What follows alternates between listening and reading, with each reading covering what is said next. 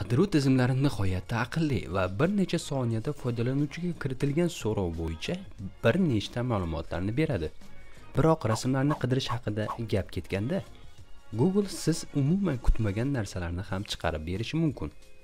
Bugun biz googlega murojaat qilmaslik yaxshiroq bo'lgan bir nechta so'rovlar bilan tanishamiz. Ulardan ba'zilari eng oddiy so'rovlardan boshqalari bo'lsa sizni dahshatga soluvchi narsalarni ko'rsatishi mumkin.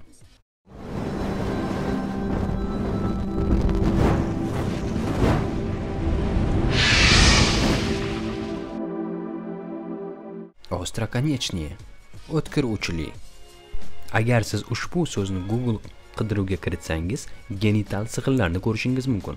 Ularning aksariyati jinsiy a'zolarda joylashgan va yumshoq qilib aytganda yoqimsiz ko'rinadi.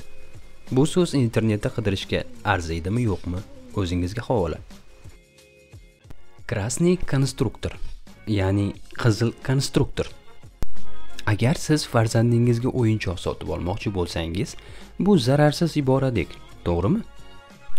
Biroq qidiruv tizimi sizga shokka tushiradigan siam egzaklari tana qismlarini ko'chirib o'tkazish operatsiyalari va o'yinchoqlarga umuman aloqasi bo'lmagan boshqa narsalar haqidagi filmlarni ko'rsatishi mumkin. Klasterniya. Klasterli.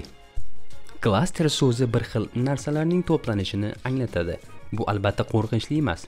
Ammo siz bu so'zni googledan izlasangiz inson tanasida va tabiatda uchraydigan teshiklar ko'rsatilgan rasmlarga duch kelasiz.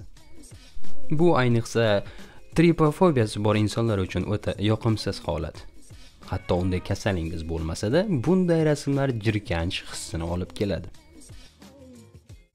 Жесть har qanday oddiy odam bu so'zni eshitib mana bu rasmdagi narsani o'ylaydi. Lekin google emas. Agar siz bunday so'rov bo'yicha rasmlarni ochsangiz sizni hayratda qoldiradigan ajoyib assortiment rasmlar kutmoqda.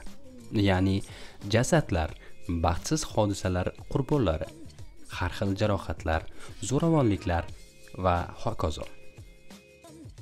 Menimcha bugunga yetadi.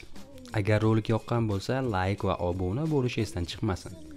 Fikr mulohazalaringizni esa kommentda qoldiring. Keyingi videogacha. Xayr.